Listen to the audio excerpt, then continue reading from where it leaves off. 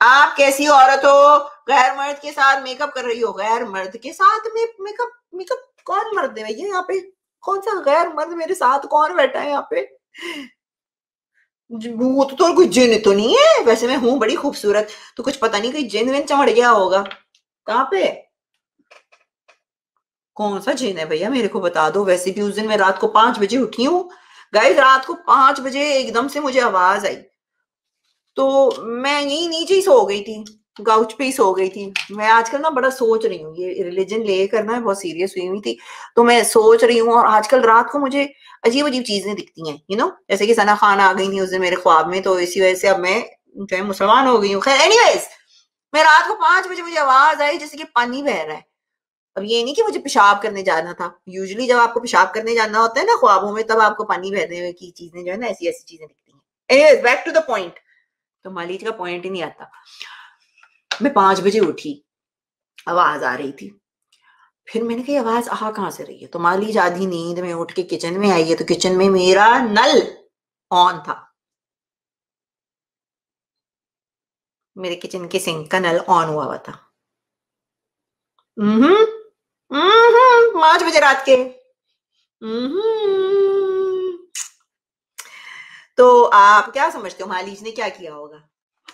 आप लोग क्या समझते हो कि महालीज ने क्या किया? आई नो मेरे ख्याल से मैं यूट्यूब को ही बता चुकी हूँ स्टोरी मगर दूसरों को नहीं पता। मगर आपको क्या लगता है कि महालीज ने क्या किया फिर? नल खुलावा, पाँच बजे अंधेरा घुप। तो मालिज ने क्या किया? बताइए।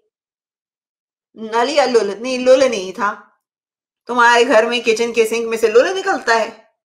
अल्लाह सॉरी सॉरी सॉरी अल्लाह गंदी बात कर दी। मगर मैं क्या करूँ? जवाब देना ज़रूरी था इसको। पता नहीं इसके, मेरे ख्याल से नल में प्रॉब्लम है। बताइए, मैंने क्या किया? नल का बंद किया। मालीज ने मालीज ने ये नहीं सोचा कि घर में कोई घुस गया है या कोई जिन भूत है। मालीज ने नल का बंद किया और मालीज जाके सो गई दोबारा से। बाद में मालिश ने सोचा, मालिश कुछ देख तो लेती, शायद घर में कोई ऐरा गैरा मर्द ना आ गया हो। मर्द मर्द हो या ना हो, मुझे तो गारंटी मुझे ये लगता है कि मेरे घर में, मेरे घर में एक जिन तो ज़रूर रहता है, जिसका मेरे पे दिल आ गया ये बात तो आप लोगों को माननी पड़ेगी कि मेरे घर में जो है ना एक जिन आ गया है, जिसका मेरे पे दिल है। और वो जो है ना मेरी चीज़ें इधर से उधर करता रहता है स्पेशली मेरी अंडरवेयर और ब्रास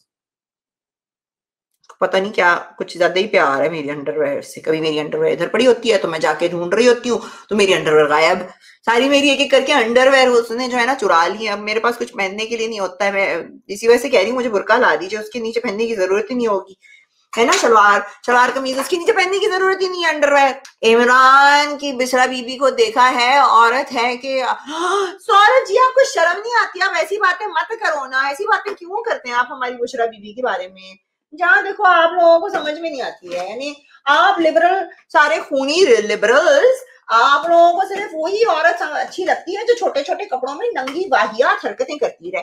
यानी जो औरत पर्दे के पीछे बैठी है और वो अगर किसी और से शादी कर ले तो उसको बुरा ही कहेंगे आप।